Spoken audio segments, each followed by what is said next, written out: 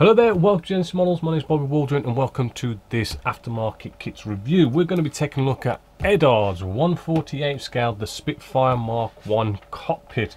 Right, the Spitfire Mark 1 um, by Eduard 148 scale. Absolutely gorgeous, gorgeous kit. And we have an absolutely gorgeous um, cockpit if you really want to go to town on it. So let's open this up. Now you do get a lot of very sort of delicate, really gorgeous um, resin with this, photo etch, the work. So let's just get a few of these out and just sort of show you our cockpit wall to start with. And hopefully as you can see, absolutely gorgeous detail going on in there. Absolute, really sort of fine um, wafer thin detail as well. I mean, you might be able to see the light shining through our um, resin just here. That's how fine this is. Right, lovely lovely detail going on in there. Uh, we have um, all our instrument display panels that are on here as well. Um, in all honesty you do get photo etch with this. So you've got this option of choosing you know this is probably blanked out for using the photo etch that comes with this or you can paint it depending on how you want to go about it. Um, but there's just loads of gorgeous detail. Again we've got some bulkhead detail just here um, admittedly, you've got a sort of, um, you can just see like the fine bits of resin, like a wafer thin. Ooh, let's get you to focus. These little holes, slight little drill out just to get rid of that bit of flash, shall we say, and this big piece of flash is there, but no big deal.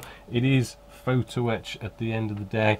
Um, got all sorts of little pieces going on with this. And what's this? This is our door as well again you can see all that recessed is it recessed or raised rivets and and stuff going on in there. Again very very fine detail. Now there's lots and lots of bits there. I'll go over them later but we have some more just in here. I think we have like our seat and everything right? Slightly different colored um, resin here as well. We have the bottom part of our cockpit section there. Again absolutely gorgeous detail in there. Nice recessed rivets. Um, we have our seat as well. Right again lovely detail going on there and around the sides and on the back as well. Um, actually we've got two seats in here. Um, possibly looking at two different types maybe.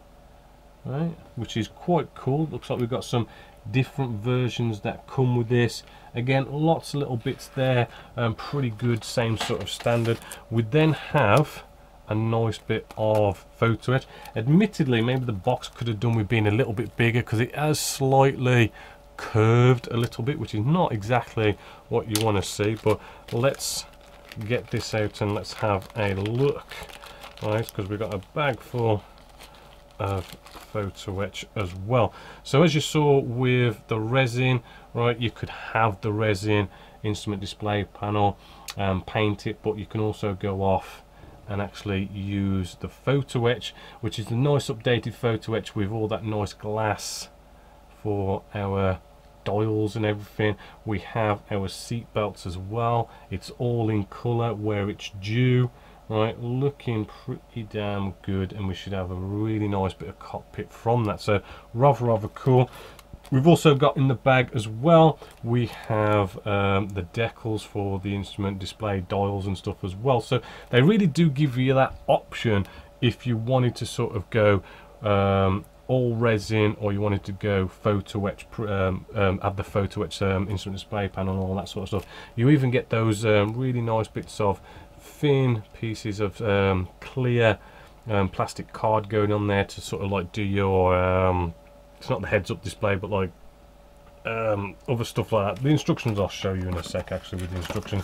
Big instructions sheet just here if we can just move this out the way. So just unfolded our instructions just here and it sort of shows you it sort of built and how much detail and everything that's going on there pretty much a full cockpit right totally replacing um, all the stuff in the kit itself so looking at this yes it does show you um, typical sort of Eduard type instructions with the instrument display panel. Um, it is giving you the showing you like you can do the decals, right, and how it all goes together. Looks a, you know a little bit complicated, but it does looks like it gets you there nicely in the end. Um, it's kind of strange how there's one sheet, it's almost like a booklet, but it's not technically a booklet, so I've got to try and work out where it wants us to go at this point. So we've got from C to D, uh, which is showing you building um, the seats together as well. Um, even the odd little decal here and there that might be going around. And let's just see where it wants me to go now. Um, actually, this is looking very, very confusing in all honesty. I'm to have to cut away and work this out. Uh, just had a kind of a quick sort of look over it and I've made a bit of a meal with it. It's sort of going all over the place. But yeah it sort of has letters like okay you've got late version and the early version which is nice that you've kind of got those options with this. But then it goes C which then takes you over to these. So C D E F G H I J. So you do that one. Um, but then it's sort of like in going one two three here um, which then it's got four, five, six. I mean, the way they've sort of laid it out in what order you do stuff is up in the air. Um, not very good on that sense.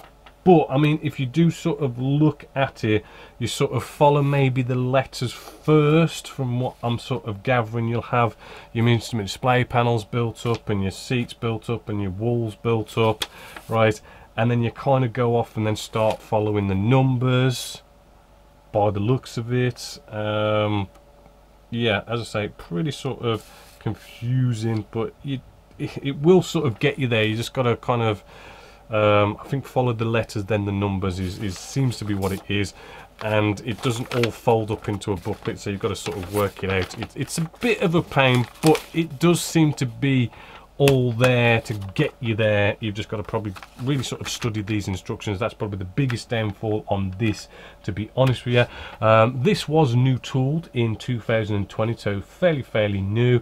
Um, it is RRP'd at £21.99 it is a bit expensive you know. I mean if you're kind of going to want to do one of these things you are sort of like maybe sort of trying to enter a tournament a competition or you just really want to sort of make a absolutely gorgeous you know, Supreme, Spitfire.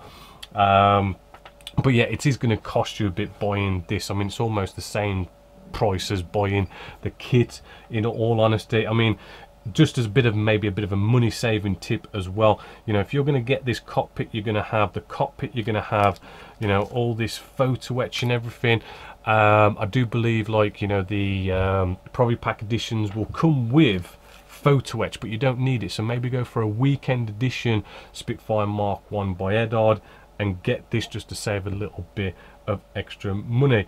Apart from the instructions, it does look absolutely gorgeous. It's gonna be an absolutely amazing one. I did do the Spitfire Mark 9 cockpit and that was absolutely gorgeous. The fit as well on the Spitfire Mark 9 was also gorgeous. Very little to kind of like sand and trim here and there to get it to fit. They Eduard does normally get their cockpits to fit rather rather nicely. So fingers crossed this should go together and go in to your Spitfire Mark 1 nicely without any major issues. So yeah apart from the instructions as I say and you know maybe the price but then as I say if you're going to do something like this you're going to be um, you know really going for a nice Spitfire. So yeah big thumbs up here at Genessis Models. Um, hopefully you've enjoyed this and it sort of helps you decide whether you want to get this um, aftermarket part to go in your Spitfire. But other than that, my name is Bobby Waldron, this is Genessis Models, and I'll catch you later.